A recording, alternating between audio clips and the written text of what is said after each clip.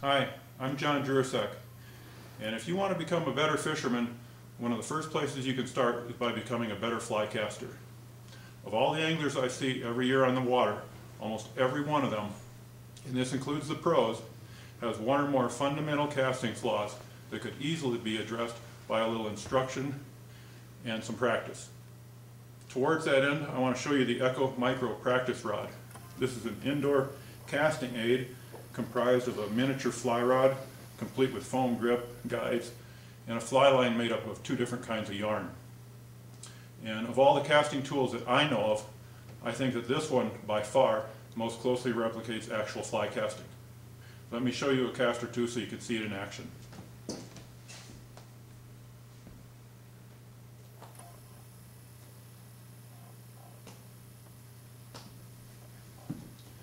If you're like me and live somewhere where it's either too snowy and or too cold to get outside and practice, or if you simply don't have time to string up your regular rod and line, um, I strongly encourage you to check out this Echo Micro Practice Rod.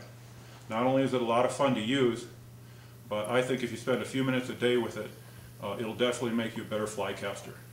Thanks for watching and I'll see you again next time with a tip or two that I think will improve your casting.